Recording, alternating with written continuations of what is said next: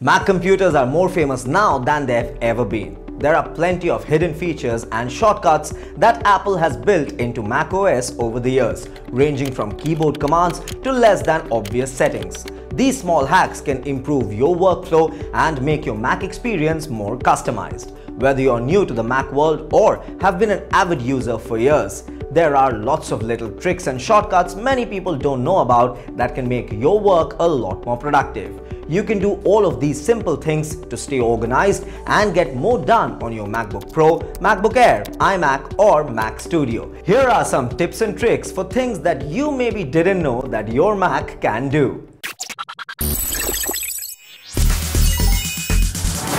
macOS tips and tricks that you must know. Perform faster app search in Spotlight. This is a very quick and handy tip. Whenever you are searching for an app in Spotlight, typing the initials of the app will bring the results faster than typing its whole name. For example, if I want to search for the App Store, I will simply start typing the letters and it will show results. Once you make this a habit, you will perform faster app searches and save time a few keystrokes at a time. Quick Look Quick Look is one of the most used features on my Mac. Once you make using this a habit, half of the time you will not have to open any file as it allows you to see the content of a file without opening it.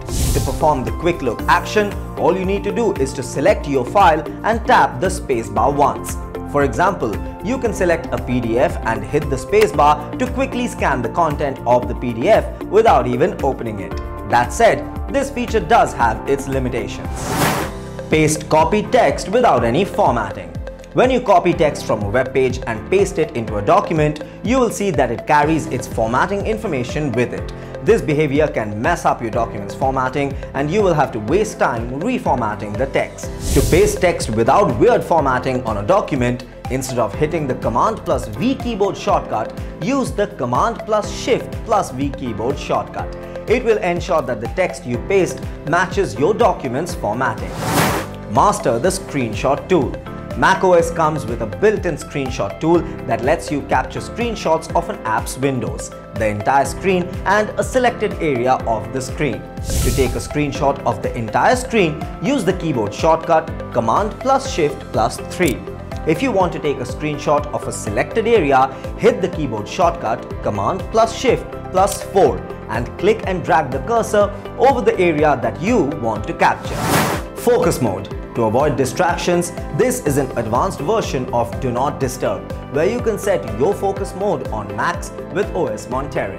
You'll see it under Settings and select Focus Mode, where you can use the pre-made ones for work, sleep and personal mode. This will filter your notification for each one you select. You can also customize yours by creating a new activity, then you'll select contacts you want to receive notifications from when you're in the mode. Have other great Mac tips that we didn't include here? Share them with us and keep watching for more videos.